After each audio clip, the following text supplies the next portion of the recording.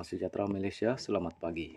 Berita penuh dipetik daripada Malaysia kini bertajuk Zahid sedia sumpah laknat Nafi bawa fail bertimbun jumpa Mahyudin.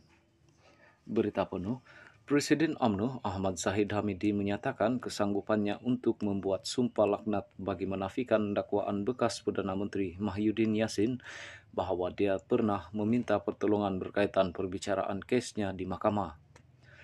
Zahid mempersoalkan dakwaan itu yang menurutnya hanya timbul menjelang musim pilihan raya, merujuk PRN Johor yang bakal diadakan bulan depan.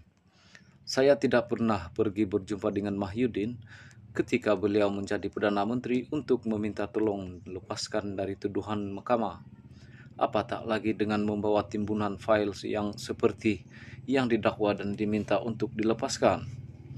Bagi membuktikan kebenaran ini, saya sanggup dan bersedia untuk melakukan sumpah laknat sebagai penafian kepada tuduhan jahat Mahyudin ke atas saya, katanya dalam hantaran Facebook dua hari lalu.